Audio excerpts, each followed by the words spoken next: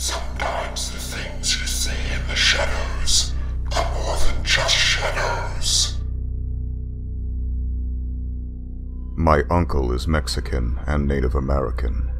This happened in the Mojave Desert in Southern California. He was driving around with his girlfriend late at night, and they saw something that looked like a huge black dog on the side of the road. He slowed down, and the dog began crossing the road.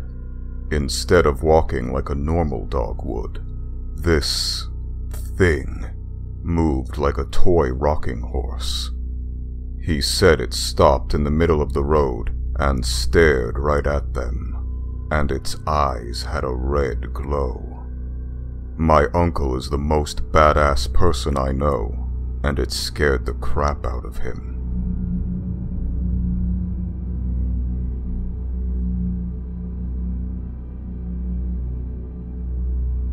I live in a small border town along the tip of South Texas. About a week ago, my brother told me he saw something that has been making him question his sanity ever since. He's the type of guy who will get up in the middle of the night and check outside the house to see if everything is alright.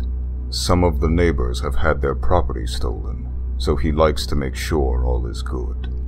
According to him, it was around 3.15 a.m and he heard a chorus of dogs barking loudly and aggressively down the alley behind our house. So, he gets up, walks down the hall, and stares out the back door window while facing south. After gazing out the window for about five minutes, he swears he saw what he can only describe as a combination of a humanoid type figure with the head of a wolf looking animal dart down the alley in a flash.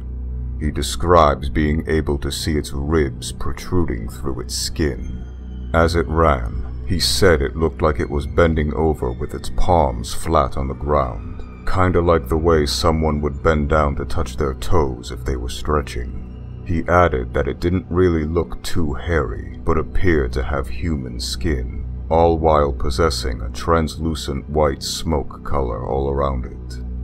Even as it was hunched over, he said it was about five feet tall and five feet long.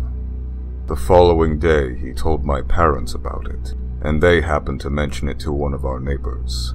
Turns out, a few days before my brother's sighting, their boxer had been stolen from their backyard. Instead of thinking my parents and my brother were a bunch of kooks, the lady neighbor, whom we found out came from a Native American background, and whose Native American mother had given her the dog as a gift, told my parents it was probably what Native Americans refer to as a skinwalker, and that it was probably looking for her stolen dog. She also mentioned that whomever stole the dog was probably cursed by now.